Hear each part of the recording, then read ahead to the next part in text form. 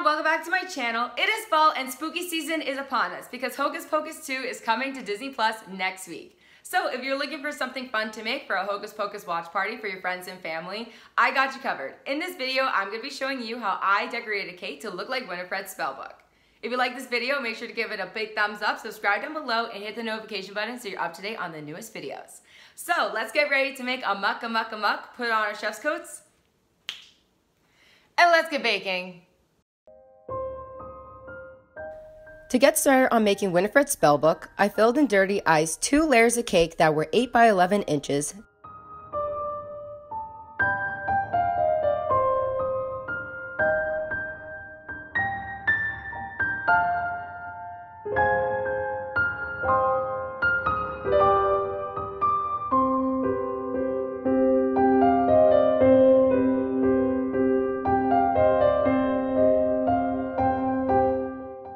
then placed them in the fridge to chill. While the cake was in the fridge, I mixed some fondant and white modeling chocolate.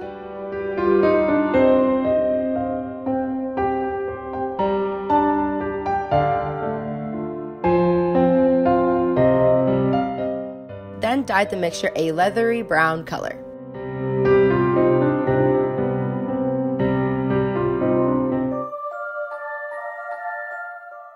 Next, I rolled out some white fondant, cut it to size, and covered three out of the four sides of the cake.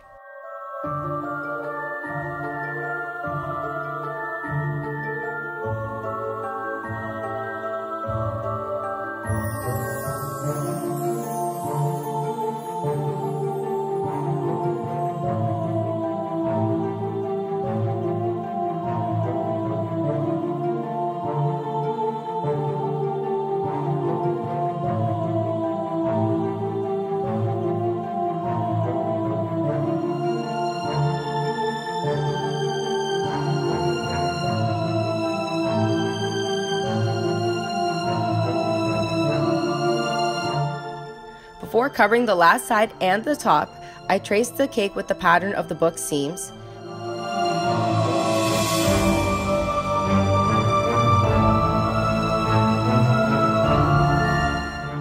Then rolled out and laid thin strips of the brown fondant modeling chocolate.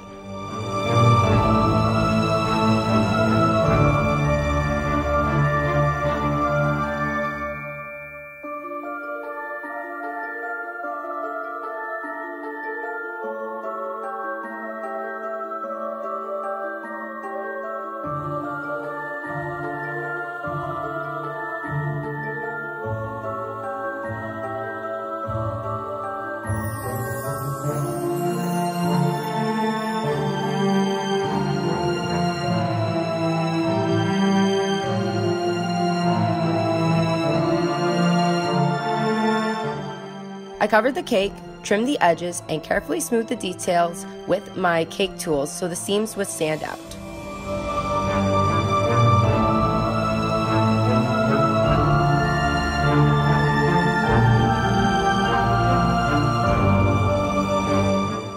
To add some extra texture, I took a piece of paper towel and pressed it into the fondant modeling chocolate.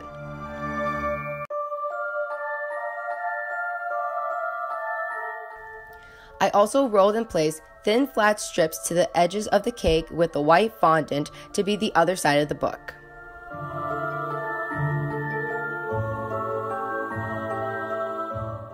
I used my finer cake tools for the edge of the book and the seams. Then it was time to really make this book wicked.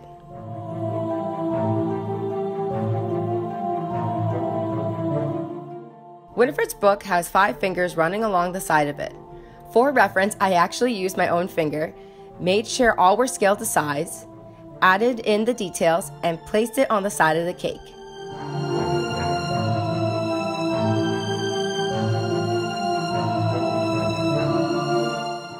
Then I created the seams that appear around the fingers.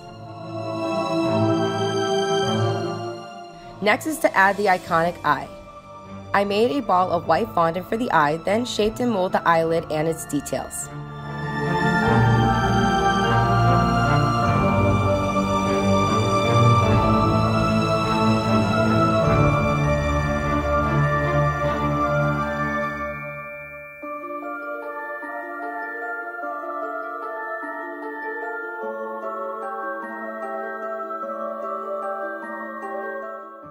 Finally, I made the pages and stretch textures before adding some color to the book.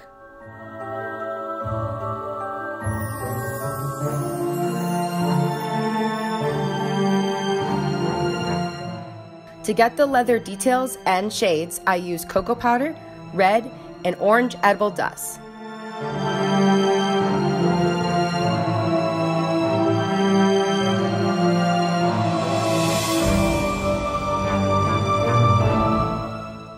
Enhance the dark spots, I used a mix of brown and blue edible dust, which really helped make the book come alive.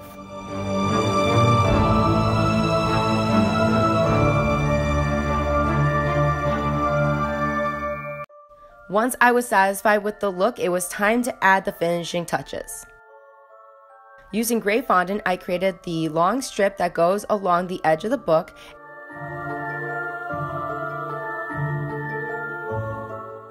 and the round pieces that are on the corners.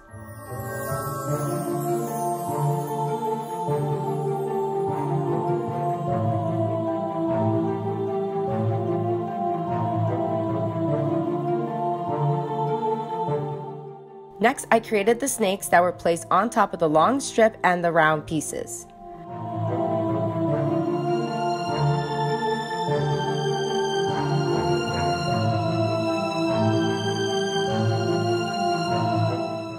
The snakes on the round pieces can be tricky to twist, but just be patient.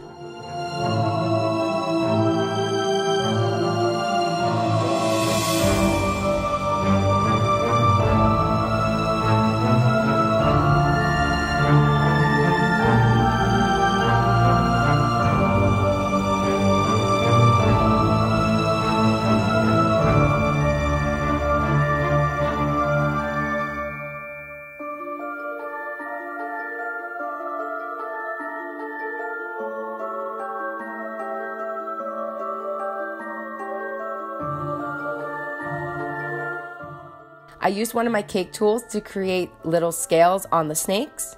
Then use food coloring and clear vanilla extract to create the color of the eye.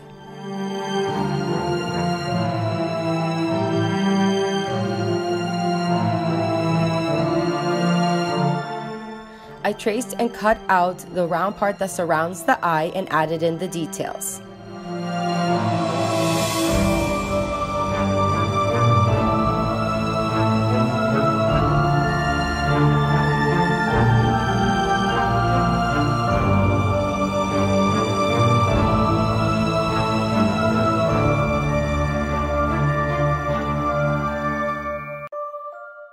To create the strap of the lock, I braided the fondant and scaled it to the right size.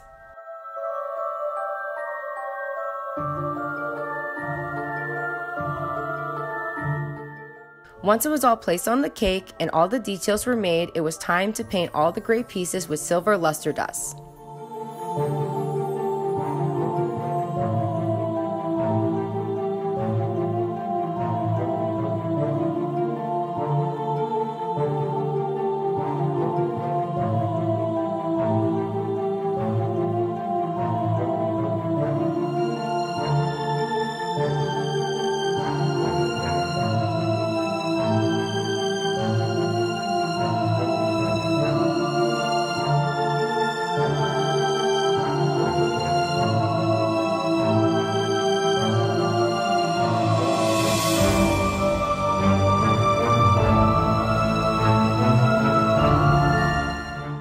And I painted a small piece to represent the gem on the lock using yellow food coloring. To finish it off, I piped the stitching along the seams with moss green buttercream.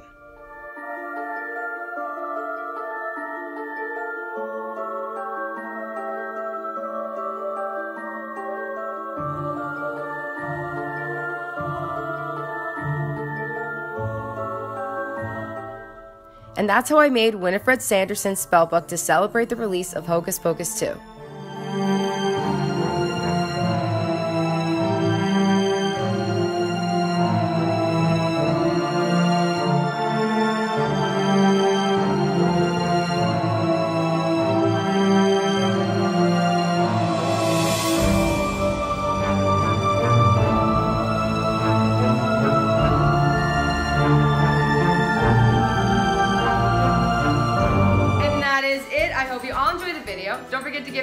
A big thumbs up, subscribe down below, and hit the notification button so you're up to date on the newest video.